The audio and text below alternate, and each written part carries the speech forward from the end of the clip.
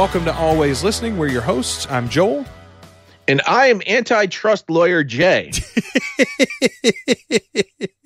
we're gonna bust I'm up not. those. We're gonna bust up those monopolies, Jay. Union busting is what we were talking about last week, not not monopoly busting. Anyway, we we are uh, we are back to talk about all of the latest in podcasting news for you on this episode of Always Listening. You can find all of our episodes at alwayslisteningpod.com. Uh, Jay, uh, we're we're going to jump right into it because you have quite a few things to talk about, and I got a couple of topics in particular that I want to cover. Um, the first one, though, I got a press release that I was really excited about. I thought this was a service that you use. I was confusing it with uh, another one. Cleanfeed, which is one of the many available VoIP services out there for podcasters and uh, people who are regularly conducting interviews online. Cleanfeed.net. You can find them there. Their their blog and their newsletter came out the other day. Multitrack is here, uh, and it, it um, this was news to me, although it's been in beta for a while. And they talk about how to set this up. You can even use it on their free accounts, uh, but this will allow you to record multiple tracks, uh, you and your guest or co-hosts, uh, all on separate tracks. They say that drift and sync are no longer issues. You'll be able to download the files individually, and uh, the only thing that you you would have to upgrade to for the pro features that I could see, Jay, as I sort of perused it uh, a little bit, was um, higher quality audio. If you wanted to get up to like 256K or 320K per second, then uh, you needed to go to the pro account. Their pro account is reasonable compared to other services like, you know, Ringr and things like that. Um, the downside to Cleanfeed, as I can see it, compared to a service like Ringr, particularly, is they don't have any mobile answer. Right now, you have to be on Chrome and you have to be on Chrome on a, a real you know desktop laptop computer tablets and uh, phones are sort of out of the loop which makes it much more limited. On that note we don't have anything to announce yet but i have been watching my email voraciously because the word is that this month sometime squadcast is going to roll out a mobile solution of some sort. I'm assuming that's an app. It's my understanding still that the mobile browsers, particularly particularly on iOS, mobile Safari is not capable still of actually connecting to a VoIP solution. So I'm assuming they've got an app coming. But I mentioned online the other day on Twitter, I think, hey, Squadcast is great, I've heard, but they still don't have a mobile solution. And I got tagged and said, keep watching. It's coming in April. So um, I'm very excited to see that. The people I really respect that are using Squadcast on a regular uh, basis say that it is rock solid these days on the desktop and laptop side. And uh, if you could use that on an iPad and an iPhone, I think that is going to be my new solution. Cleanfeed is exciting. You mentioned Jay, you've tried it before. It was just super techy. It was it was almost too much even for you to figure out and, and get going. Yeah, I mean, I'm not the most technically advanced uh, podcaster that that exists out there. I, I I probably know enough to be dangerous, as they like to say in the biz. Um, and, and I used it, and it was and it's very nice, and it and it works great. The problem I had is with 32 different guys, teaching all 32 of them how to use it was a chore because all of them came from different walks of life. Some of them very technically adept. Some of them were as adept as I was, and some of them have no technical adeptness whatsoever. So it's um it, it can be a little difficult and a little intimidating to use once you do get to know it and you and you figure it out. It is a fantastic tool. The fact that it now has multi-track makes it even better uh, for all of you audiophiles out there who like to have the uh, voice tracks on separate tracks so that you can edit out all the ums, ahs, clicks, all that stuff that I just gave to Joel to edit out. Hey, but you know, sometimes it's not even. And I'm going to leave all of that in, by the way, as a, as a uh, an example for our listeners, Jay. But sometimes it's not even about that. I was explaining this to a client the other day. One of the reasons why I love multitrack is because podcasters tend to record in bad environments. In particular, our guests often even don't connect with their real microphones, right? They even if they have a microphone, maybe they don't understand how to connect it or get Skype to notice it, et cetera, et cetera. So you end up getting that laptop microphone or your uh, webcam microphone, which is going to capture effectively the whole room. If you're capturing multi-track, you can remove all of that room tone everywhere except where the person is speaking. And so just the general noise floor of your audio can be much lower to begin with. So it's not even about the fancy Yeah. editing. It's just about processing and saying, Hey, I can cut out all of the silence that's not really silence. And so limit my overall noise. Um, so that's the big thing that, that multi-track gains you. And it, it there are services. Squadcast is a good one. Uh, uh, Ringr does it. Uh, I'm trying to think there's a Zencastr, although I've, I've heard Zencastr has some real drift issues lately. Uh, and then now Cleanfeed as well is offering multi-track too. Zoom.us will even do multi-track recordings if you do if you set the settings up right. The problem is that Zoom the audio is very very low quality to begin with, Jay. So I hmm. cannot if you're anybody who's worried about trying to get higher quality audio, Zoom's not the way to go. Zoom is easy to use. I will say that. And a lot of especially entrepreneurs they really understand Zoom. They're using it for their their webinars and their meetings and things like that. And so uh, it's a service that they're already familiar with. That's the reason we're using Skype, right? Is because Skype is something that so many people are are familiar with already in their regular daily lives and if you can make it easy for especially if you have you know experts in your own field but not in podcasting that are your guests regularly you need to make it as easy as possible for those people I don't remember who. There's someone in one of our Facebook groups that's uh, getting ready to do a whole experiment, testing all of these uh, VoIP services so that they can provide examples of each service. You can make your own decision which one you think sounds the best, works best for you. Uh, all of that wonderful stuff. I personally use uberconference.com.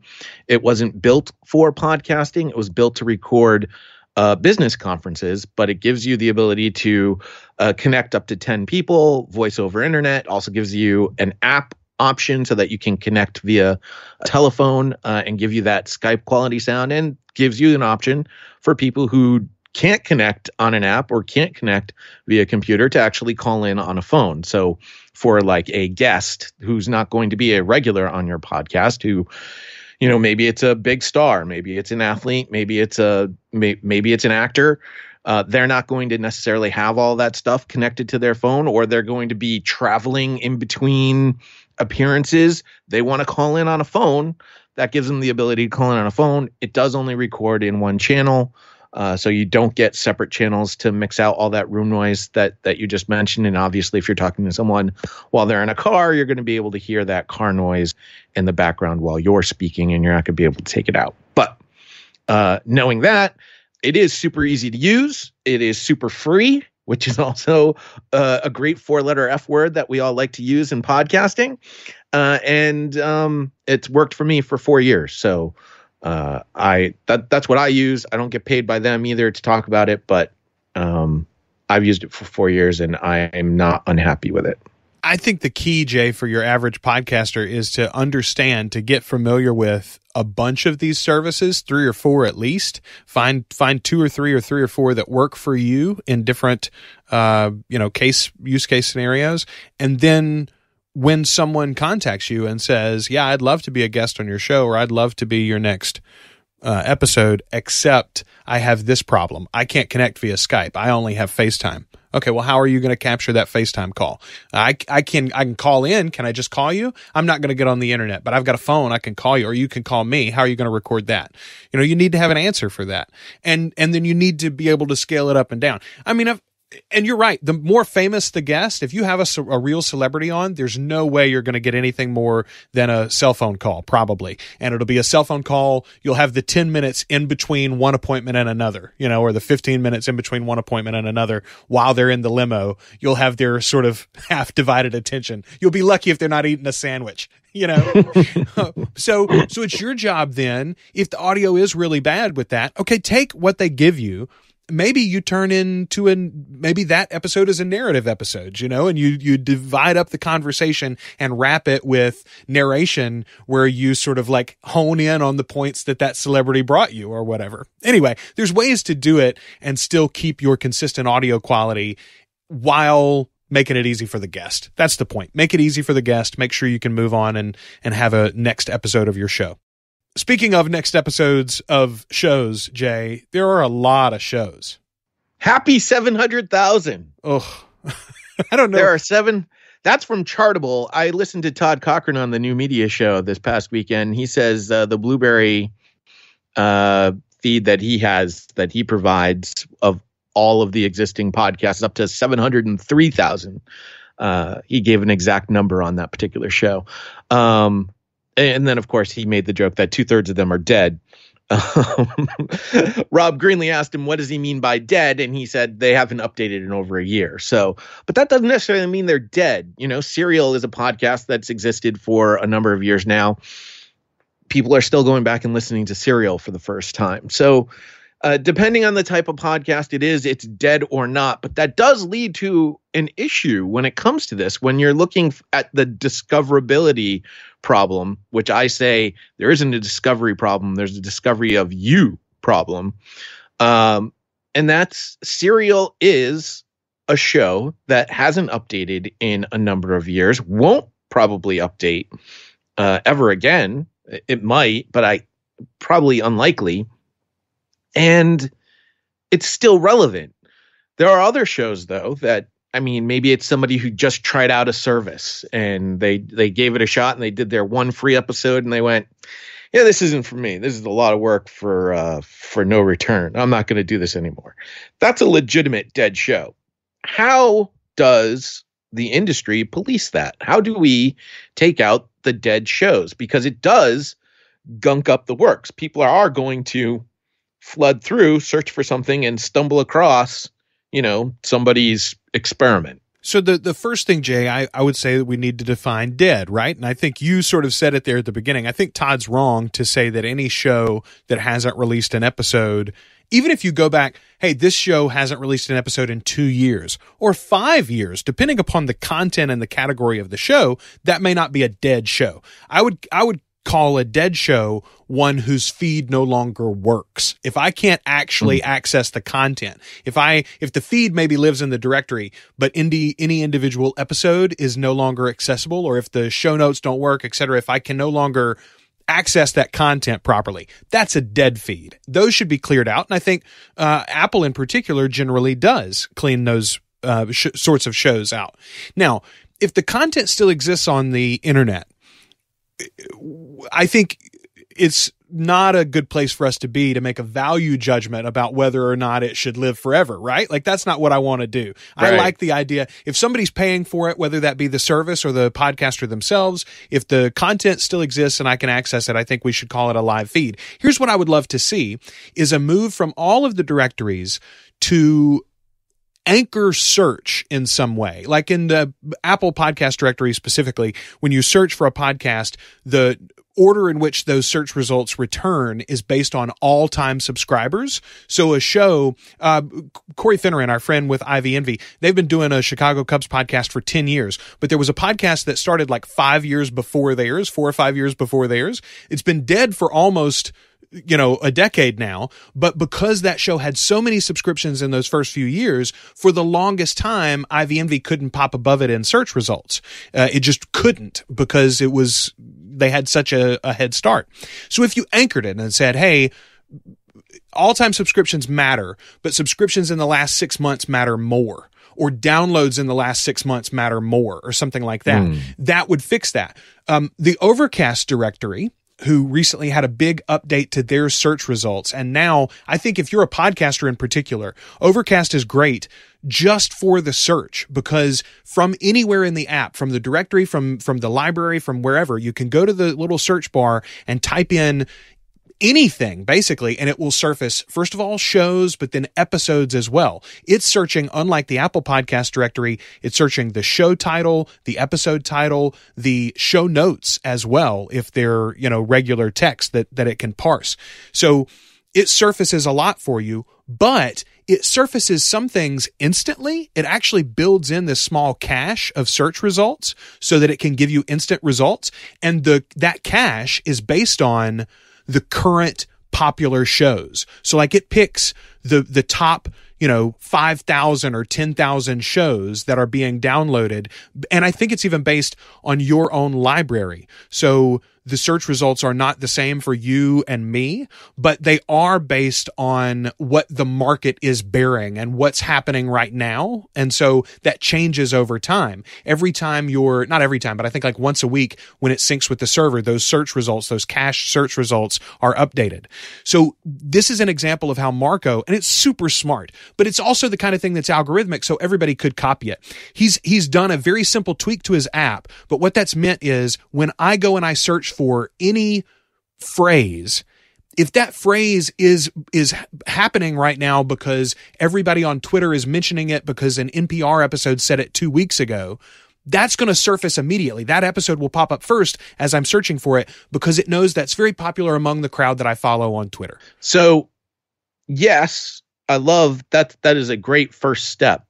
However, you can see where there's a second step problem that exists in that if it's sorting by the popularity of the shows, as more and more big corporations get involved, the audience is likely going to move more towards listening to the bigger shows.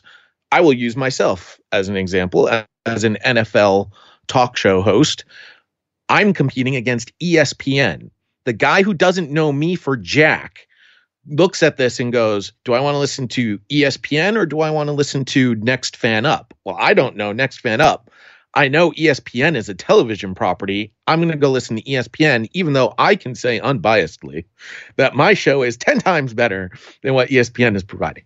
Um, perhaps using myself was a bad example, but that's sort of the point. The point is, is as more and more big corporations get involved in podcasting, and that's where the fear from the independent podcasters lies, is more and more big time broadcasters getting involved in podcasting going to shove the independent to the side if we're building search results that are ultimately going to favor the bigger podcaster how do we find the discover there will become a discoverability problem for the smaller podcaster yeah, sort of two separate issues there, I guess. The, yes, you're absolutely right. These sort of tweaks to the search directories or the directory search uh, engines would not fix the issue of the the big corporations versus the little guys. Uh, it would fix though the the dead show idea or the ancient show idea. Mm. You know, the um the fact of the matter is if hardcore his if Dan Carlin decides tomorrow that he's never going to produce an, another episode of hardcore history, there is nothing wrong with the content that is out there. And there won't be in five years or 10 years or in 50 years. Those shows will still be valuable. So if you're a history podcaster, and your complaint is I can't get above Dan Carlin in the search results and he hasn't released an episode in 6 months. I'm sorry, bud, but this but the 100 that you've released in the last 6 months aren't as good as the one that he put out. You know, I mean, I I say that. I shouldn't say aren't as good. They do not have the value in the market of what his one episode does, right? Like the the the inherent right. quality of any individual episode is is subjective obviously.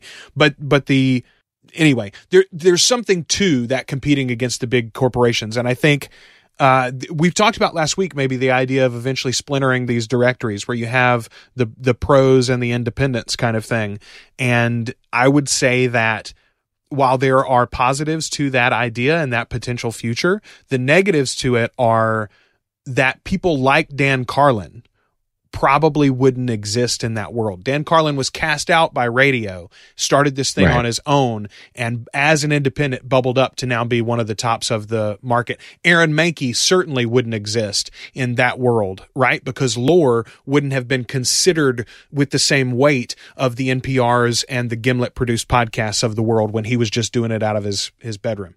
Well, this makes a great transition to uh, Podtrac statistics. Podtrac recently just released uh, their chart of the uh, top podcast categories. Now, again, understand Podtrac does not track every podcast, but uh, they do have a fairly large sample size that they can delve into. Uh, and over the course of the of the year, February 2018 to February 2019, uh, there are two metrics: their average audience growth uh, based in a percentage and the growth in number of shows, which was also expressed as a percentage. And uh, it's interesting to see how the categories uh, ranked out. So, in terms of year over year average audience growth, the biggest category uh, was religion and spirituality. Now, their average unique monthly audience, according to the shows that Podtrac tracks, was only 147,000, um, give or take a couple 885 other other uniques. Um, but 93% year over year audience growth, tremendous audience growth. The number of uh, percentage of shows over that year was 58%. So you can see huge growth opportunity there in that particular category. TV and film, also with a smallish, unique monthly audience of only 254,000, uh, had 86% year over year average audience growth, uh, but had 68% year over year show growth. Uh, so more shows added to that particular category. Uh, and then the comedy category, which is one of the largest, if not the largest, in terms of unique monthly audience. I'm just double checking. And yes, it is the largest with 1.78 million uh, average unique monthly audience, had 82% growth, 50% year over year percentage of show growth. Uh, very interesting. My category that I'm most interested had the least amount of year over year average audience growth, sports and rec, with only 8%. However, 63% of new shows uh, added in that year. In other words, a whole bunch of new sports shows, no new listeners to those sports shows, which again goes to point out that like clog there, like people who know sports are going to go to the big name brands versus the little guy that's doing the sports show uh, out of his home. So here's the trend that I see, and if you look at this chart as a whole, Jay, here here's what I take away from it. I see the areas where the audience bought into podcasting early because of their own lifestyles, right? Where they understood the technology and they were early adopters. I think sports is on the leading edge there because sports uh, fanatics have always been early adopters for anything. If you tell me I can buy a satellite and I can get more games, I'm going to buy a satellite, right? If you tell me I can order sports uh, satellite radio and I can listen to the games when I'm in the car, I'm going to order satellite radio even if I have to get a new radio for my vehicle, right? That's the sports fan.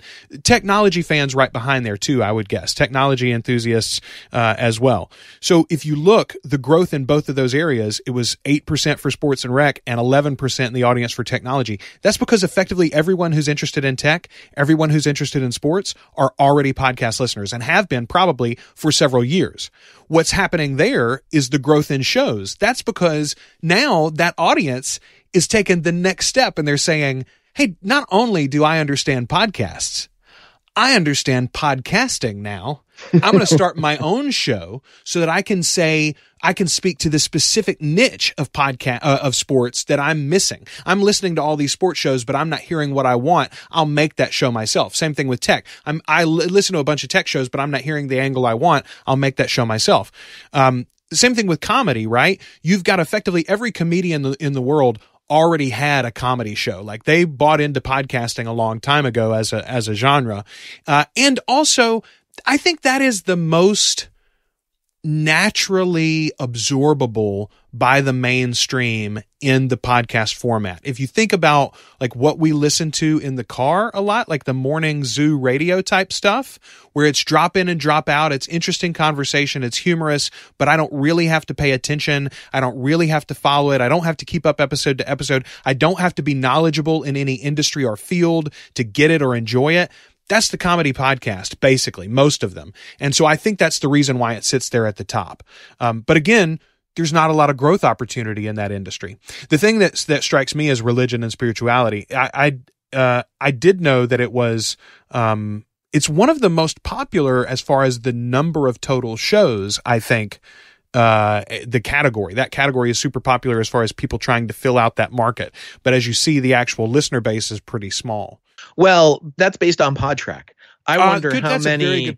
I wonder how many religion and spirituality shows are being tracked by Podtrac. I, I mean, mine isn't very specifically. So, I'm using yeah. I'm using Blubrry stats. I'm not in Podtrac at all. Um, well, let's go to the other chart here because because what's interesting here about that is business uh, led the categories in number of in percentage year over year percentage of show growth business growth, number of new shows, 77%, but their average audience growth only 37%. That is a saturated that is the definition of saturation. If you have got 77% new shows and you only have 37% audience growth, you're saturated, just like sports. If you've got 63% new shows and you've only grown 8% audience, that is saturation. Stop making sports shows, Jay. Well, uh, and, and probably stop making business shows. If you're talking generally about entrepreneurship or about uh, you know uh, money making or starting a small business, et cetera, et cetera, someone is probably covering that topic already uh, for you. Games and hobbies, similar, seventy five percent uh, growth of new shows, only 18% growth of audience. But what's interesting there is only an average unique monthly audience of 95,000. For some reason, I still feel like that something about those numbers don't add up the math doesn't does not compute to me there. It, to me that seems like there's an opportunity still. I wonder too i think about a lot of uh, shows that are like live play podcasts where they play tabletop games of some sort mm. and and record that as a conversation. A lot of those i think end up falling into like the comedy category and and maybe they're even listed as such as opposed to games and hobbies although you might think about them in that category. So and the other thing is a lot of the independents, a lot of the smaller people that are doing that, like you said with religion and spirituality, they might just not be tracked by Podtrac at all. Those are those are sort of falling through the cracks of the industry. Right. And health was the third one. This one this is a very good stat if you're doing a health podcast. 71% new shows, 80% new audience. So uh very that that is the opposite of saturated. You you can still build more health shows apparently.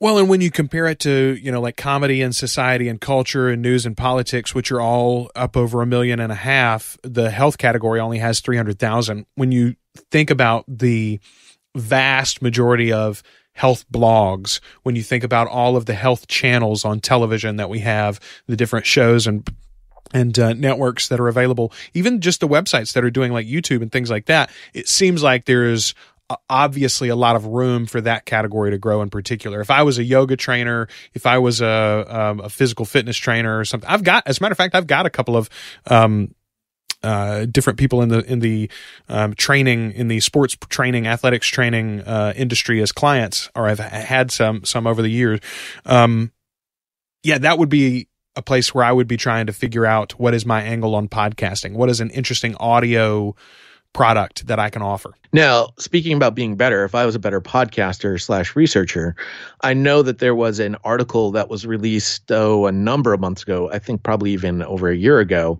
and I want to say it was from the folks over at Pacific Content. Not 100% sure the source that presented this very similar type research in terms of the different categories and number of shows in each of the categories. And religion, as you had mentioned, was the top category with the most number of shows. The least underserved category in terms of number of shows was like shopping. Uh, which I thought was interesting because I've always told my wife, who is very much, she plays a game with our family guess how much i paid for this uh, and and she is uh, in like the top like 0.1% of savers at CVS markets. Uh, I don't know if you've seen the meme of the CVS uh, receipts. Yeah, my wife uses every single one of those coupons that comes on those receipts. Uh, and she loves to play the game. Guess how much I paid for this? Basically, she'll go to the store and she has no problem showing you her Kohl's receipt that says, "Hey, I I just saved 75% on all of the merchandise I just purchased." Um, and then I'll be like, yeah, but you still spent that much money. anyway, uh, I've always joked she should be creating the show, a shopping show, because it's an underserved category. And to me, I think as you are a person who's thinking about starting a podcast, you need to start thinking, especially now in this day and age, as more and more big name podcasters get involved, understand who your competition is, understand the niche that you're going to serve, and understand if you are providing real value to that niche or are you just adding another voice to the noise? Because if it is just you're adding another voice to the noise and your ultimate goal is to, say, monetize your podcast, you're not going to succeed. You're going to come up way short. But if you are adding value and you are and and you and you are providing something of service to your niche, you're going to do very well. Conversely, if you are just adding another voice to the noise and you don't care about monetizing your show, then none of why are you listening to this particular podcast? well, but I mean like the the point though is to know what your why is, right, Jay? And then to orient everything that you do with your podcast, the amount of money you spend on a podcast host the amount of money you spend on a website or not the you know how you orient your uh, calls to action what what those calls to action are all of that depends on why are you doing this show? Do you just want to start a podcast, period? Do you have a passion that you want to podcast about? Uh, are you looking to grow your business or to grow your brand? Or are you looking to fill a niche or solve a problem? You know, so what, what is that why? And then once you answer that, all of these other things will fall into place. Uh, but I do think there are some opportunities out there. If you're listening and you're like, boy, I really like podcasts and, and I have a salon you know, I think there's an opportunity for you. If you have a retail space, I think there's an opportunity for you. If you're a local chamber of commerce, I think there's an opportunity for you to get into that shopping vein somewhere and figure out how can I do this in audio that's interesting and compelling and interesting to me and will provide value for the audience out there. And I can help you do that too. Facebook.com slash podvader page. I'm more than happy to talk to you about that particular opportunity and how I can help you create that opportunity. One of one of the things you would definitely tell them not to do, Jay, is to put their podcast behind a paywall, right? Mm-hmm. This is one of those we we talk all the time off the air about things that I should perhaps watch my tongue about, Joel. Uh, and this perhaps is one of them. But there is data and it's not 100% apples to apples that's being released by Jacobs Media. Every year they do uh, a tech survey. Now their survey is of radio station listeners. That is their audience. That's whom they're polling. That is the pool of opinion that they're pulling this from. So again, remember this this is not apples to apples. This isn't like what Edison Research does. Edison Research does a random poll and and they'll explain exactly how they pull their audience and what they get their opinion pool from. Jacobs Media does theirs a little differently. They actually interview radio listeners. So these are people that are identify as radio listeners. And in their tech survey that they've done for a number of years now, their most recent data, they asked um, would you be willing to register, providing your name, email address, zip code in order to listen to your home station's audio stream? Now, back in 2016, 71% of their audience said yes, they'd be more than willing to. But that has fallen precipitously since 2016 to now only 60% say yes, they would do that. And you have to assume based on the statistics that that that that is one of those graphs that will continue to trend downward. So if you're considering putting your content behind a paywall, understand that less and less people are more likely to sign up for your paywall be, for a number of reasons. That the tech survey will go further into that. I do not believe that their new survey is public yet. I know that they have done a couple of presentations at some of the radio conferences that have been going on. I believe they've presented at Radio Days Europe, which is going on right now. Uh, I believe they also presented at a RAIN conference that occurred not too long ago in the past week or so. Uh, they usually do make this a public uh, they do usually release this information publicly. Follow them, jacobsmedia.com. You can sign up for their newsletters and they'll announce when they do release it. But it is something to take note of from all of those companies that want to be the Netflix of podcasting, for instance. The more and more you're putting your stuff behind a paywall, the least likely an audience is to sign up for it.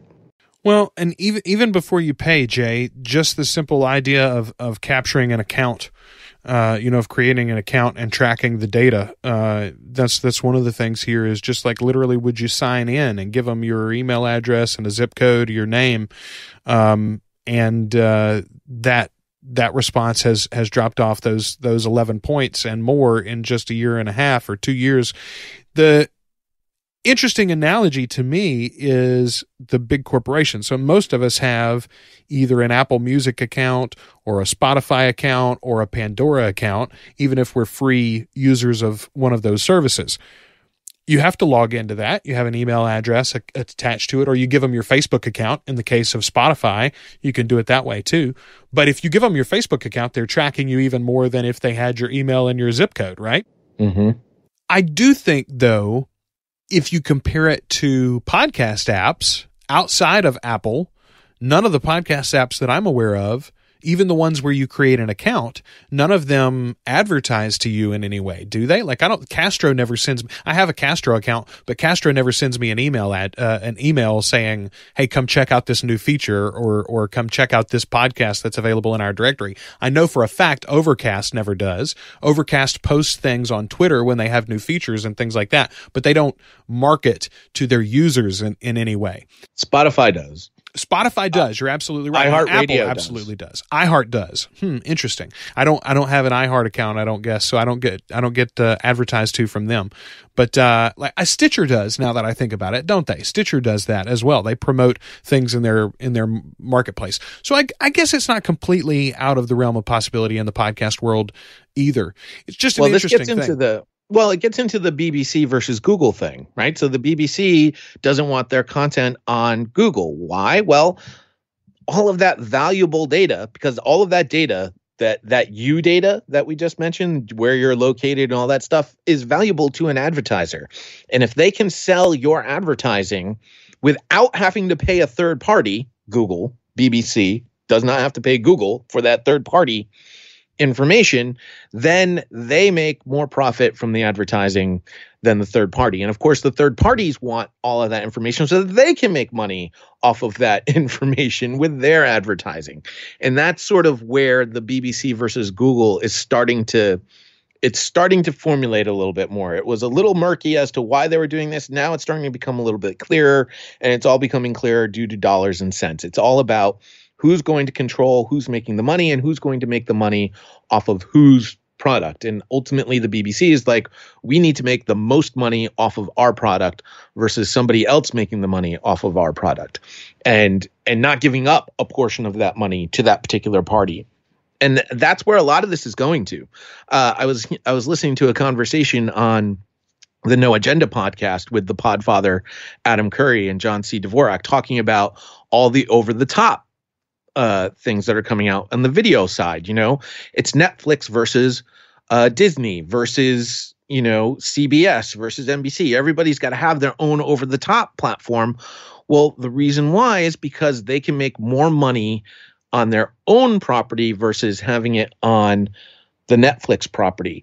Now, there's still in in that regard, there's still valuable content such as Friends, a show that hasn't been on the air for over 25 years, where they're still going to maybe even make more licensing that content to Netflix versus keeping it in house on their own over the top platform and then selling advertising on that. But eventually, all of that money is going to dry up. Like Netflix is going, Netflix is still not making any money. They are not a profitable company at this particular point in time. They they still are operating in the red. And that's something that will eventually catch up. I don't care if there is a phrase too big to fail. No, eventually the the eventually the bank is going to come knocking on the door and say, "Hey, we need our money," and you're going to say, "I can't pay," and the bank is going to say, "Well, then you're done." Um, all of that will eventually catch up. It's just a matter of when, how. I doubt it's going to happen tomorrow. I doubt it's even going to happen within the next decade, but it is something to keep an eye on and understand that's what's really happening behind the scenes. It's not a the BBC thinks that they're too good to be everywhere else. No, the BBC knows that they have valuable content that they can make the most money from providing that content on their own platform controlling it entirely. The the interesting thing will be to see how it settles out. And if we end up I think what what's going to end up happening is we're going to have a few aggregators. It it will effectively uh, this is definitely already happening with video, right Jay, where they're effectively replacing the cable model but with streaming services now where you buy these packages. And yeah, I have Amazon Prime and for a few bucks extra I get Showtime and HBO and also we bought Hulu and with the Hulu add-on I get you know my sports package or whatever. And the total how much do you pay for it total uh, about $120 a month with internet which is the same thing that i paid for cable you know like that's like that's the way that it's going to work. It, it's already shaking out. And I think that, I think it's very possible that the audio world could end up being very similar, where we all have to have the Spotify app and we all have to have the Apple Podcast apps and we all have to have maybe the BBC app because, or maybe the ESPN app, for instance. Maybe they start bringing some of their stuff exclusively into their own uh, silos so that um, we have to have those for the specific content. And then we still have that Overcast app or Pocket Cast or whatever, that third party app for all the independent stuff that we like. I think that is entirely possible five years from now. Well, and as I mentioned in the last show, this would be good news for the independent podcaster. If the bigger guys are going to take their ball and go home, Apple's got to promote something. They they they're going to still have an interest in promoting something. Spotify's still going to have an interest in promoting something unless they buy it, uh, such as Parcast or or Gimlet or or what have you. Uh, so they're still going to have to promote something, and that's going to be you uh, if you're providing good quality content that is promotable. Uh, that's the other thing. Understand what great content really is, not what good content is. Great versus good. There's a there is a giant difference in that definition, um, which I'm gladly I will gladly share with you Podvader page on Facebook. Uh, Jay, I want to talk very quickly about the Spotify podcasters dashboard. So, uh, matter of fact, I'm going to open up my browser here and go to it so that I know I'm telling you the right place.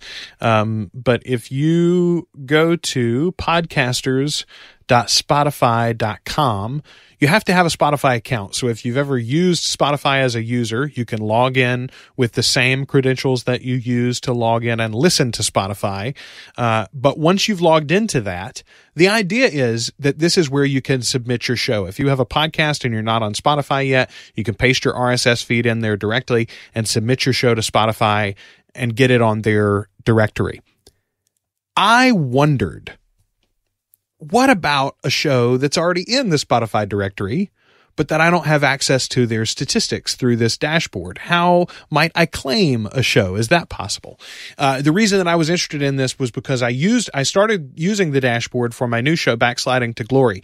It, I'm, I'm, as I mentioned last week, I'm hosting that show on Squarespace directly using the Blubrry stats, but that meant that I didn't have like a direct connection through Libsyn or Blubrry or something to submit the show to Spotify. So I needed to go to this dashboard and submit the show. I did that.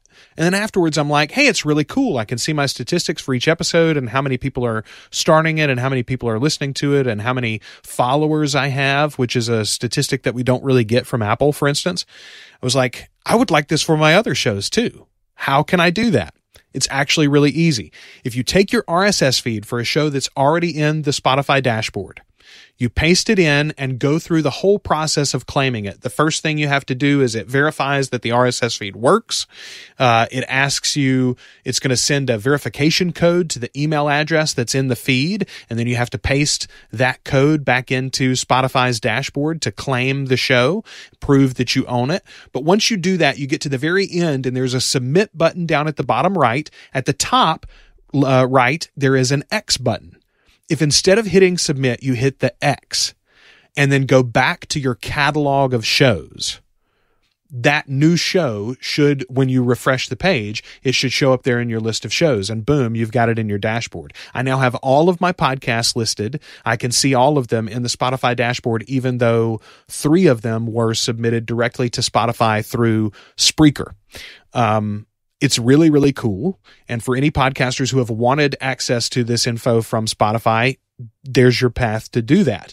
The one caveat that I will say is that I had a friend, uh, Ravi. Um, I can't remember Ravi's last name now, but he posted on Facebook. He said he followed my instructions and it didn't work for him. So there's your caveat. Maybe it doesn't work for everybody. I'm not sure what he didn't do or did do, or maybe it's something with his browser, et cetera, et cetera. But for me and for several others who have followed these instructions, they ha- now have access to their show. Why might you want it?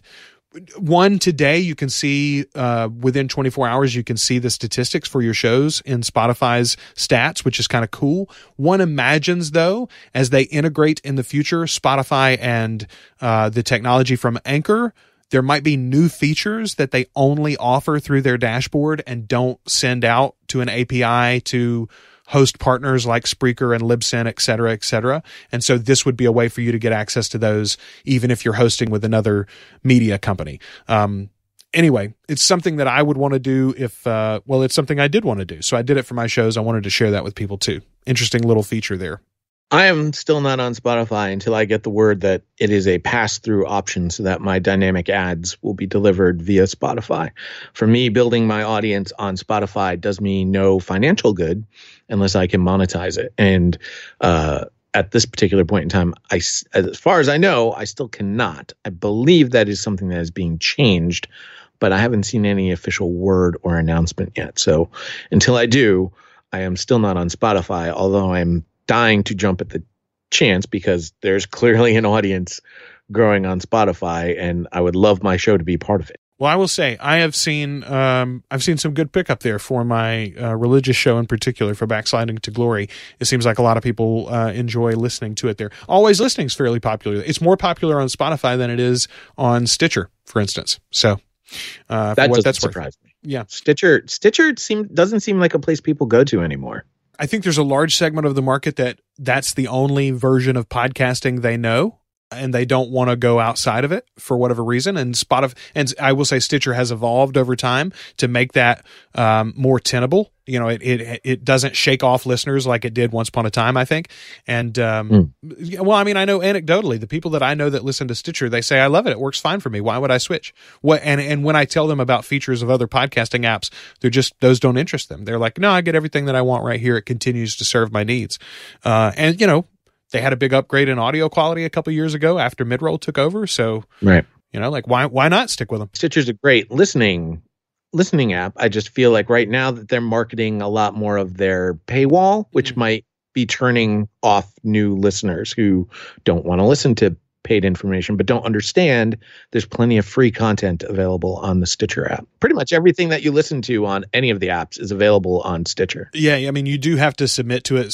separately just like iHeartRadio or something, but uh, it is a a public you know podcasting app. Anybody can be on there.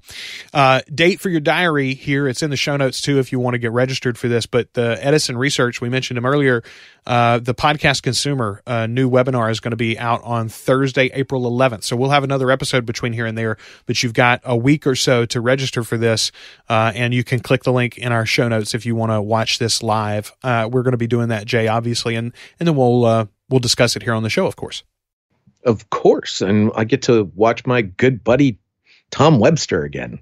It's fantastic. Let's get to currently listening. What are we currently listening to?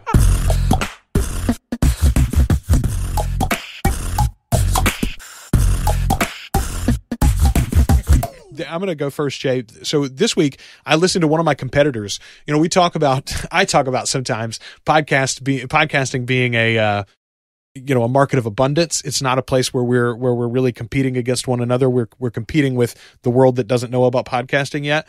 One of those quote unquote competitors one of my colleagues Carrie Caulfield Arick she's a podcast editor and consultant herself. She's got a company called yaya podcasting. Uh, she does a show called just podcasting and she dumped a, a whole season basically at once, Netflix style, recently, and I had not gotten to listen to any of them. I finally started going through them. I specifically listened to an episode with our friend Jenny Wren Strodup uh, from Gritty Birds uh, uh, podcast, and uh, Steve Stewart, who is another podcast editor as well, and and the um, uh, admin, the founder of the Podcast Editors Club on Facebook, um, which is huge. It's almost 4,000 members now. Anyway, it's a great show. She talks about she talks with podcasters, specifically people who are in this industry and have been at it for a while. She talks to them about what their lives were like before podcasting and, and how podcasting has affected their life and their relationships and their outlook on life and things like that. Very, very interesting if you're in the space and you love um, hearing about others who are doing it. If you if you're the kind of person who has ever gone to a podcast conference and come back and been like, oh man, I finally got to talk about all this stuff that I don't get to talk about with my friends normally. This is a good example of a show where you you can get that kind of conversation on a regular basis. Uh, it's called Just Podcasting and all the podcast apps, and there's a link for it in the show notes as well. Joel, I'm a big fan of the fictional podcasts. I've been I've long been a believer that fictional podcasts is the wave of the podcasting future. As people as it becomes easier and easier for people to listen to podcasts in the car they're going to look for stories and fictional podcasts or audio dramas however you want to refer to them is going to be the thing that people are going to be looking for like talking about last night's show is great you know talking about what happened in the world of sports is great talking about what's happening in the world of podcasting is a is a phenomenal niche but telling an original story that in, you know gives somebody the theater of the mind uh, is something altogether different. It's something that I dabbled with a little bit in college. Uh, it's something that I have great respect for for people that do it. And there's this new show uh, that stars an Academy Award winner, uh, Joel uh, Rami Malek. It's called Blackout, and it's being done uh, in with Endeavor Audio. And the reason I started listening to this is because in one of the many newsletters, and I'm sorry I can't give the credit to where I saw this, I desperately searched for where I saw this. This is why I need to update our show notes on a daily basis, Joel, and not like an hour before we do the show. Um, their headline was Blackout is great, but these ads are killing me. so I went, hmm. And and they and they mentioned in the in the write-up of the show that uh it is a podcast about a radio broadcaster. So there was a little bit of irony involved in saying that uh, Blackout is great, but these ads are killing me. Well, listen to the show. Here's one of the problems that that you have as an audio fiction person. If you have too many characters and you don't have a based narrator to sort of direct you to whom these voices are, you tend to lose who that character is. And if it's an original piece of work, you're not necessarily um, you're not all in yet on that particular character.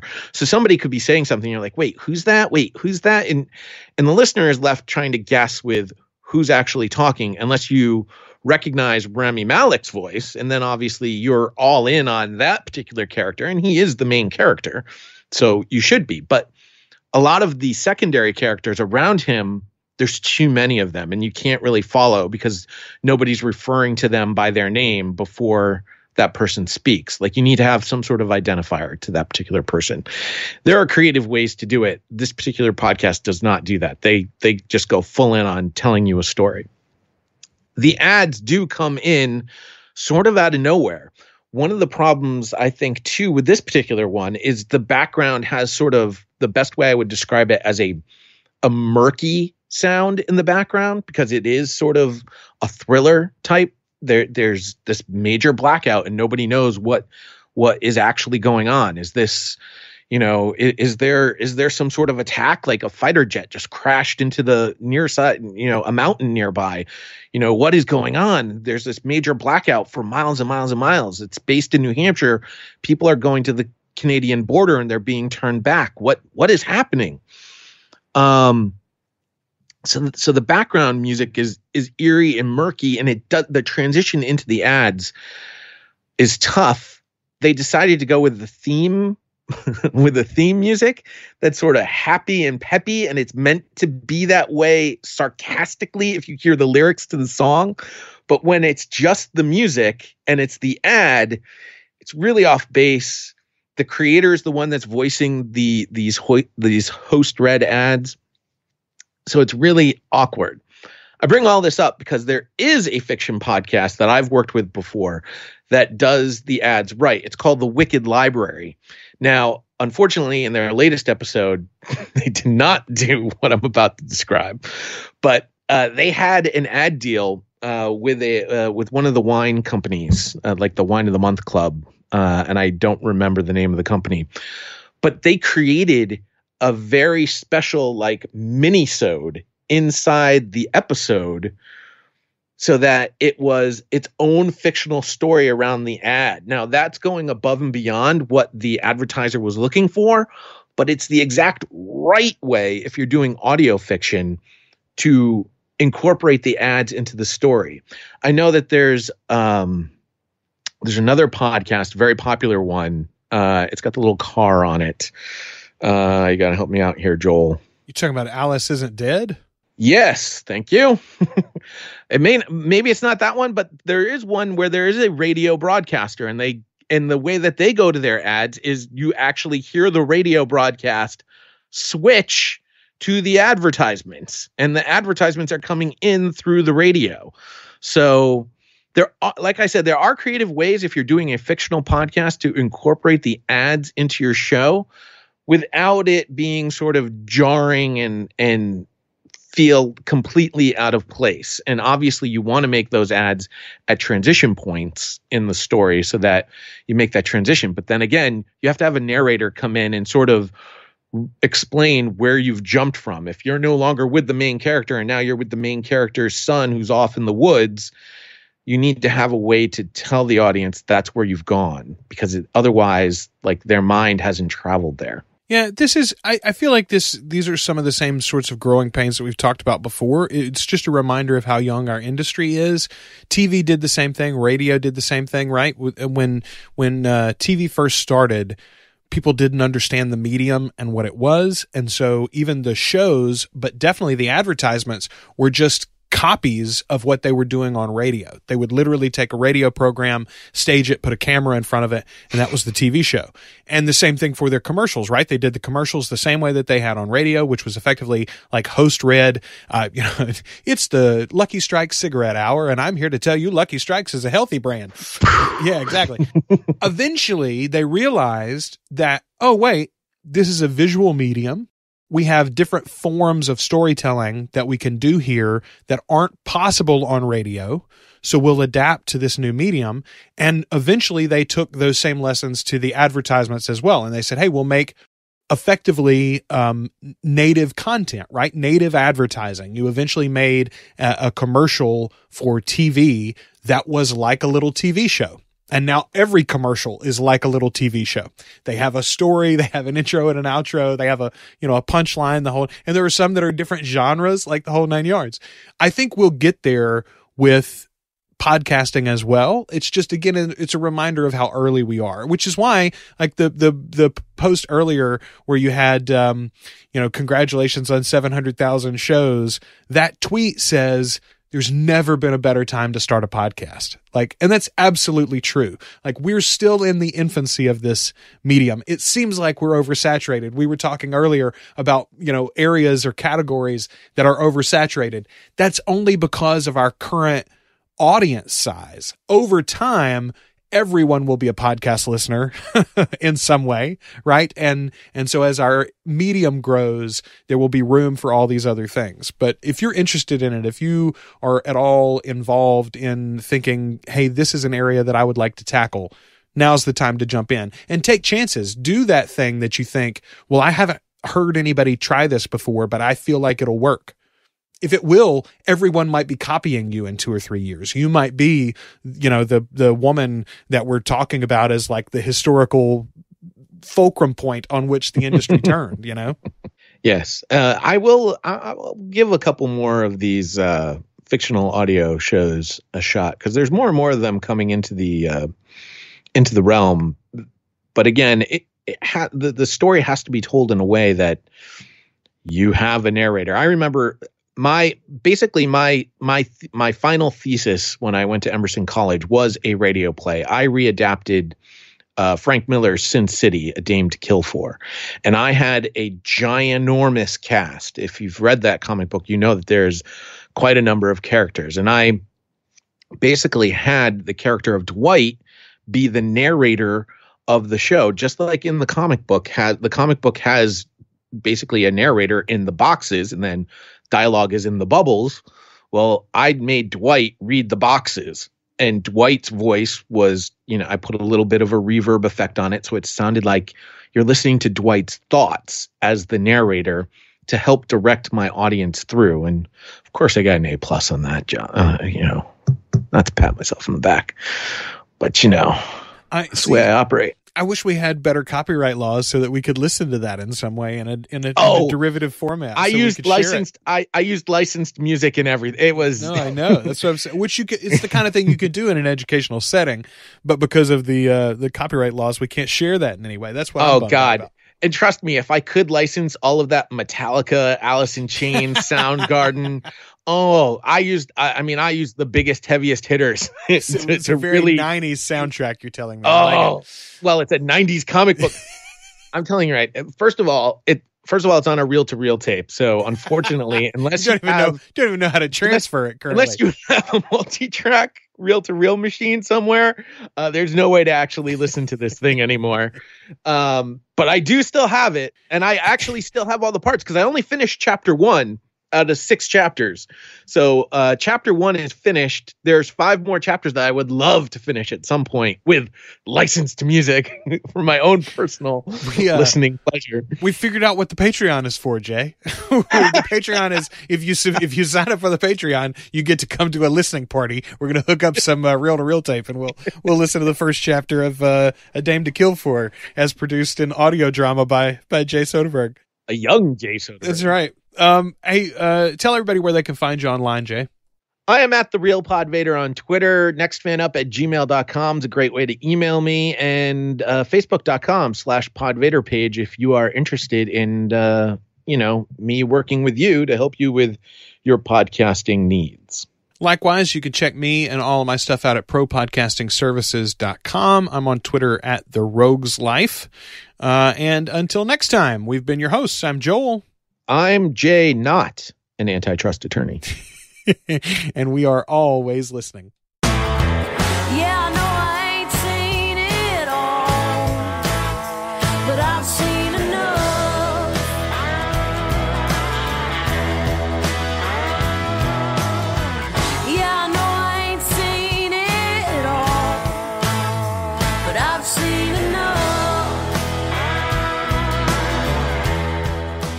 Always Listening is a proud member of the Two Guys and a Rogue network. You can find all our reviews by searching Always Listening on Apple Podcasts, Spotify, Stitcher Radio, or anytime at alwayslisteningpod.com or email us at alwayslisteningpod at gmail.com. Our theme song is Enough by Bethany Rayburn.